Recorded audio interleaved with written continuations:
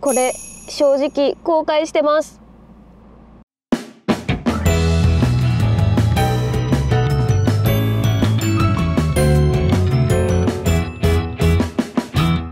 はい皆さんこんにちは小粒です。こちらの照英グラムスターとってもお気に入りで去年の秋にね新しく購入してからずっとこのヘルメット1個だけで全てのバイク運用してきました。がここに来てちょっととこれはこの後もずっと使うわけにはいかないなという点が出てきてしまいました。このグラムスターデザイン形。とにかく見た目がすごく良くて何よりとっても軽いのでかなりお気に入りのヘルメットではあるんですがただとにかく風切り音がひどい。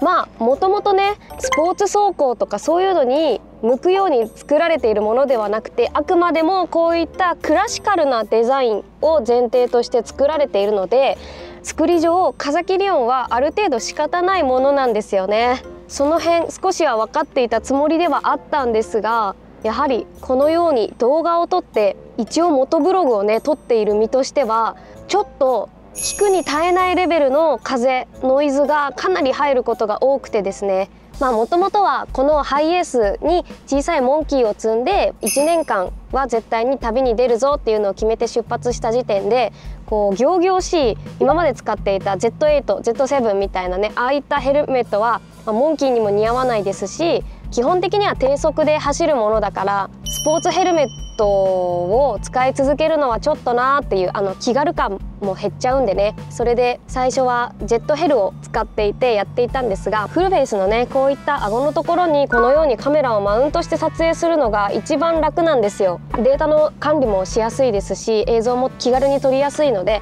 まあ結局それが一番だなっていうスタイルになりましてジェットヘルは顎がないから、まあ、変な位置につけないといけなかったりここのネックマウントを使わないといけなかったりっていうのでやっぱり不便だなって34ヶ月ぐらい旅に出ていて思ったのでフルフェイスだけどちっちゃいバイクモンキーにも合うクラシカルなデザインでフルをかぶるっていう煩わしさができるだけないもの。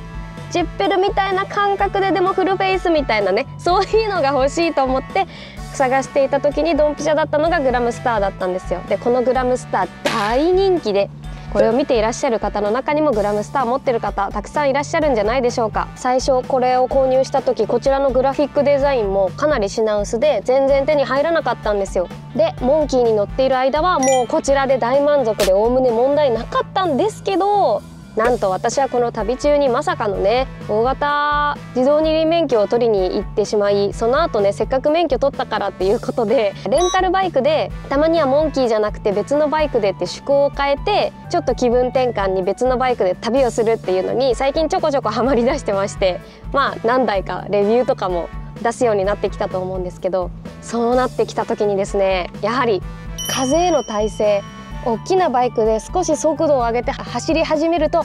ちょっときついなと思ってきました。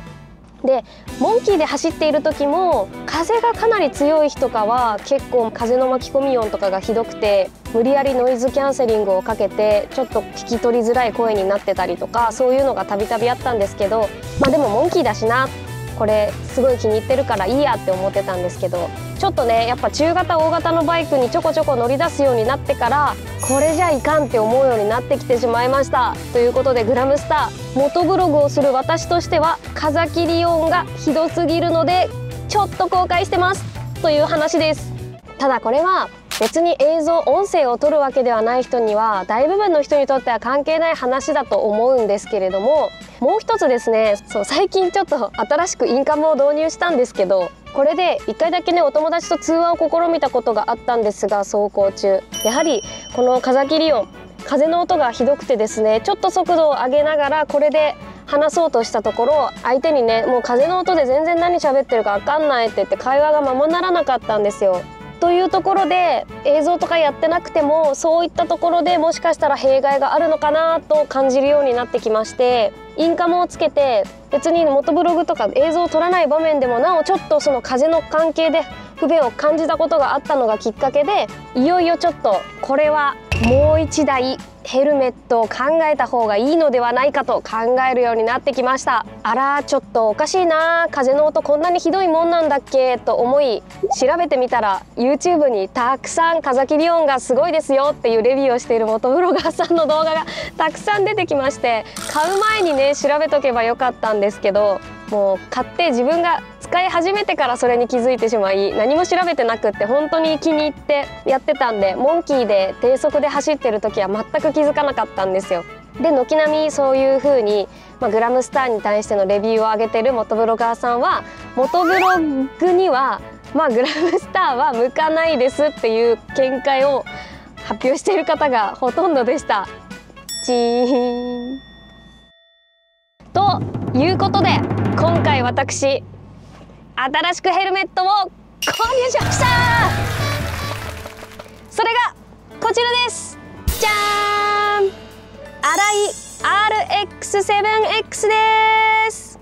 ついに新井デビューでございます。私は今まで照英の Z7、Z8 とかぶってきましてで3個目グラムスターでずっと照英だったんですよ。絶対に照英派っていうつもりでもなかったんですけどなんかずっとね照英だったんですよ。というのもやっぱり軽さがすごい正義で長くねロングツーリングをするにあたってヘルメットが重いと本当にね疲労感がすごい全然違うんですよ。何十グラム軽さが違うだけで首への負担とかロン痛をした時の長時間時間が経った後のこの首周り頭の疲労具合って全然違うんですよね。まそれで言うと照英ってすごく軽いモデルが多くって特に最初から使っていた Z シリーズなんかは CBR とか最初乗っていたああいうスポーツタイプのバイクにもマッチするしかつ軽いっていうのですごく気に入って使っていました。ただそこからちょっと Z8 に切り替えた後に軒並みその後照英の製品が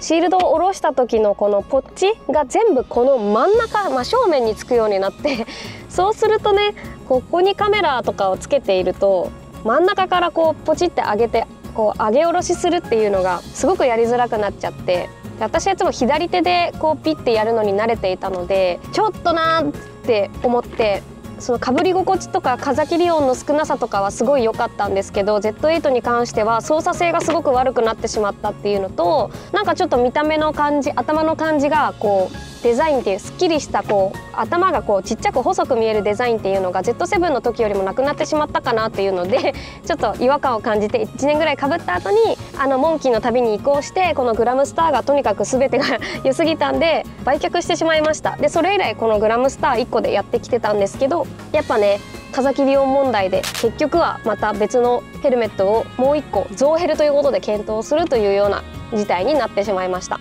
で今回なんでこの RX7X にしたかと言いますと単純に一度も洗いかぶったことがなかったので一回かぶってみたかったからです。っていうのとあとは洗いってこういうまん丸い棒体が特徴的じゃないですか。で新しく買うヘルメットはもう大きいバイクとかスポーツ系のバイクとか、まあ、ある程度速度が出るようなバイクに乗る時にかぶろうっていうので用途をちゃんと限定して検討していたのでザ・スポーツヘルメットみたいなこういった見た目のもの買ってみるのもいいなと思っていたので今回新しく粗いヘルメットをかぶってみることにしました。今までは私はこの照英のちょっと細長めのほっそりしたデザイン気に入って使っていたので逆にこの洗いのまん丸の棒体ってどうなんだろうってちょっと疑問思っていたんですが実際にバイク用品店にこの間行っていろいろ試着させてもらったところこの RX7X かぶってみたら意外とすっきりとマッチしていてヘルメットをかぶった時の感じが意外と自分好みだなっていうのに気づけたので購入してみることにしました。フィッティングを担当してくれた方がすごく親身にいろいろ話を聞いてくれて調整とかかぶり比べとかに付き合っていただいたので、まあ、その効果もすごく大きかったなと思っています。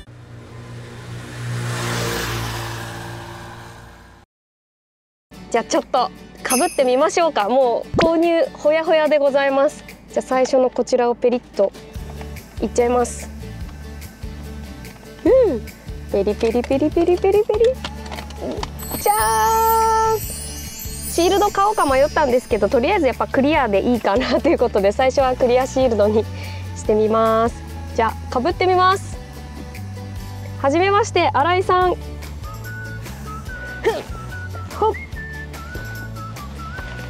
よいしょ。うー。はい。こんな感じ。どうですかね。そう私このね鼻のこの辺まで隠れてほしいっていう願望がありましてヘルメットは。この目だけ見えてるのかっこいいじゃないですか。そうできれば鼻先まで口元が見えないぐらいこう隠れてほしいなっていうのがあってこの RX7X はこうかぶった感じがすごいぴったり。でここのねホールド力がすごいのよ。結構グッとくる。でまあ私はフィッティングで頭の形に合わせて内装もちょこちょこいろんなところ分厚くしてもらったりとかして自分仕様になってるのでまたこうグッとフィット感上がってるかなっていうのがあるんですけどもうすごい。もうめこのブンブン振っても本当なんかずれない感じです。で結構グッといってるんですけどあんまりこうほっぺたむにゅっと押されてる感っていうのは見た感じはないですよね。かなりでもしっかりホールドされています。この感じ結構かっこいいなと思って。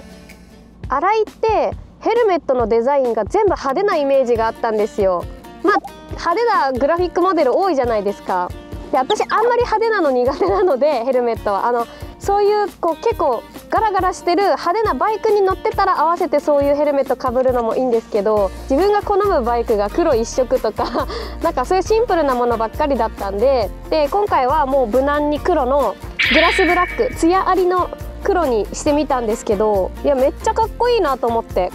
この感じすごいマッチしてませんか？あーなんか女子ライダーだなって感じするよね。これ CBR にもめちゃくちゃ合いそうだなと思って思いがけずかぶってみたらめちゃくちゃ気に入ってしまったので洗いデビューすることにしました。ただね これ メイクが全部持ってかれる。まあまあフルフェイスはねそんぐらいあっていいもんですからそんぐらいねフィットしとかないと何かあった時にね身を守ってくれませんからね。この辺のファンで全部こそぎ落とされるみたいな感じですけどそのぐらいフィット感がすごいです。ということで新しく洗いデビューしてヘルメットが2台体制になりました。用途に分けて使っていきたいと思います。もうグラムスターはグラムスターで本当に気に入ってるのであとねこちらのフィッティングのお姉様がすごくあのすごくいい人だったんでいろいろこう購買意欲が湧いてきてしまいまして実はこの お気づきでしょうか。グラムスターのこちらのシールド。シールドも実はクリアからちょっと色がついたスモークに変えてみました。半ミラーみたいな感じかな。えへ。買っちゃった。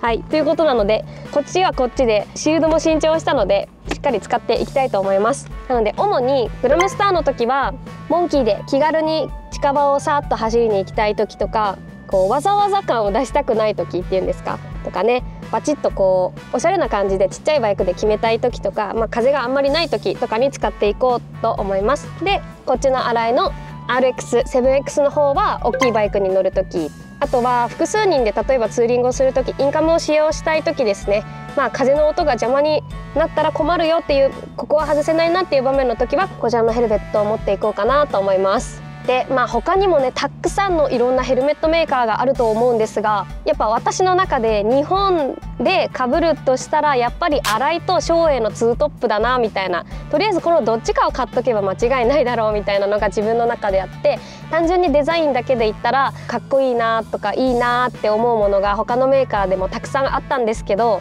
やっぱこの照英洗い買っときゃ間違いないっていうこの自分に根付いた感覚っていうのからまだちょっと抜け出せてなくって今回はこのツートップのラインナップにすることにしました。新しくこのねヘルメットを検討している時にフィッティングのお姉さんにもあのやっぱり風切り音を一番に考えるんだったら照英のモデルの方がかなり評価が高いっていう話を聞きました。そしてですねヘルメットと同じように服装についてもですねちょっと速度が出るバイクとか大きいバイクにちょこちょこ乗り出すようになってやっぱりこのモンキーに乗る時のようないつもの私服と同じラフな格好じゃきついぜっていう場面がすごい出てきましたので新しくこれも買いました。はいこれヘンリー・ビギンスのボディバッグですね。これね今まで私 CBR 乗ってた時は対地のウエストポーチをつけててこんなぐらいのでっかいやつやっぱね肩にかけたりとか背負ったりするものってすごくきついんですよね。長時間乗ってると大変なのでやっぱりライダーはですねウエストポーチが最強なんですよ。でこのタイプってあれよく見るでしょみんな。こうやってさここにかけてこの足のところにも輪っか通すところがあってここにさこういうやつもうこのバッグつけてる人も軒並み全員ライダーですからね。街中で見たらあの人ライダーだって一発でわかるバッグです。ついに買ってしまいました。ちょっと分かりやすいのが嫌で今まで使ってなかったんですけどいやどう考えたって一回この不便さを体験するといや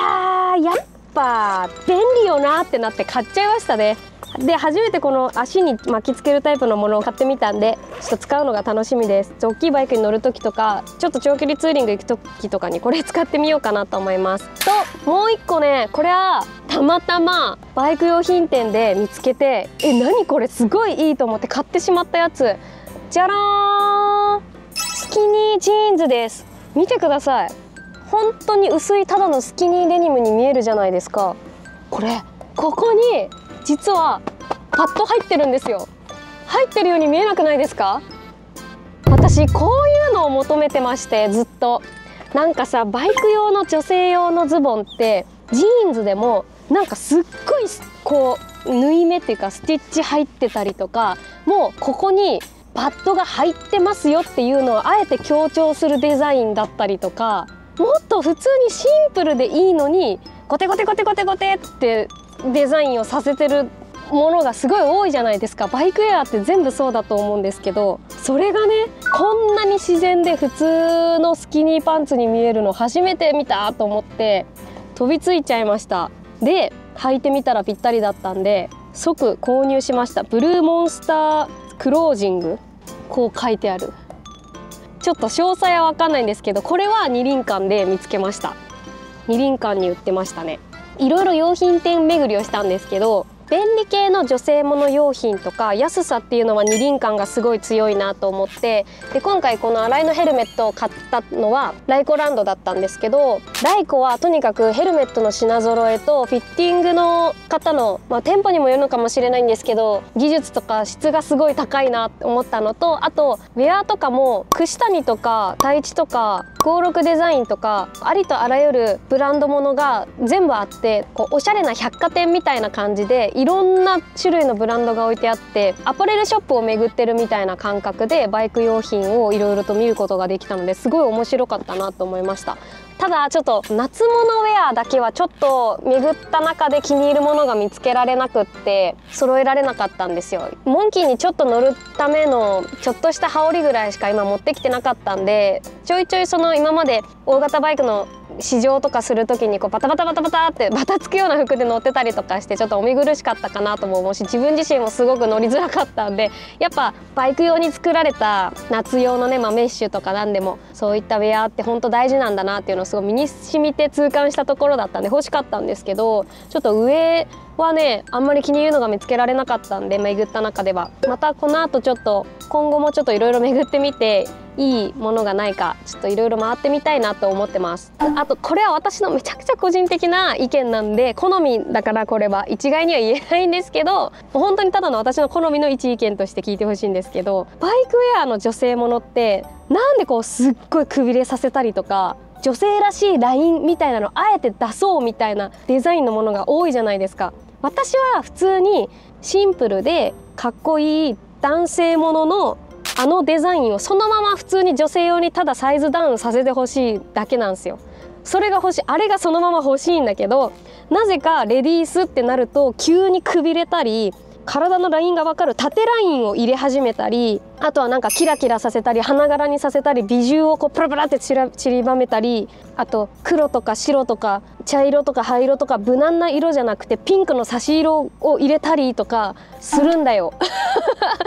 なんでなんだろうと思って。まあもちろんそれがいいっていう人もいるっていうのは分かるんですけどそうじゃないんだよなみたいな。そこを出したいわけじゃないというかなのでもしおすすめの、まあ、これだったら女性とかもう着れるんじゃないかなみたいななんかそういうおすすめの商品とかあったら教えてください。まあ、気軽に街中で普通に歩いてたりしても浮かないようなデザインとかがバイク用品にもどんどん増えてくれるとすごいありがたいなと思いますそれでいてあ、まあ、安全性を担保するっていうところとデザイン性っていうのは、まあ、どうしてもね100%マッチはできないところがあると思うのでいろんなところどこを犠牲にするかっていうのはすごくしょうがないところもあると思うんんですけども、まあ、その中でも自分に合うものとかこれだったら着ようみたいに思えるものこれからももっと増えてくれたらいいなって思いますね。で気軽にみんなが買えるようなデザイン性でやっぱ安全なものがあるとどんどんそうやってみんなの安全に対する意識とかも高められると思いますしまあおしゃれは我慢って言うんですけど 我慢しなくてもちゃんと安全に快適によりバイクライフを楽しめるような身の回りのグッズがねこれからも増えてくれるといいなと思っております。ちなみに今回買ったズボンとカバンと、まあ、新しいバイクの格好こんな感じです。めっちゃシンプルじゃないですか。普通にいるよねその辺に。いやちょっとこのカバンのせいでバイク乗り感出てるけど。ねこれパッドが入ってるってパッと見わかんないじゃないですか。これすごい良かった見つけられて。じゃんで洗いをかぶったら？こんな感じですね。こんな感じ。まあちょっと靴は今厚底しか持ってきてないんですけど、まあ、普通のブーツとかだったら全然やりすぎ感なくはまるかなと思います。ということで新しいバイク用品とともにメリットデメリットそれぞれ役割を分けてねそれを踏まえながら楽しくどんなバイク用品も最大限気に入って使えるようにいろいろと工夫しながらまた利用していきたいと思います。まだまだ私の知らない情報とかもいっぱいありそうなので皆さんこれがおすすめだよっていうようなものがありましたら是非教えてください。まだ上着も欲しいのでよろしくお願いします。最近はどんどんレディースのあの種類とか物販のスペースとかも増えてきましたのでまだまだいいものが出てくるんじゃないかなと期待しております。そんなわけで今後も主にハイエースモンキーの旅ではありますがちょこちょこといろんなバイクに乗ったりもしていきたいなと思っているのでまたその時は動画にします。ご視聴よろしくお願いします。では最後まで見てくれてありがとうございました。またね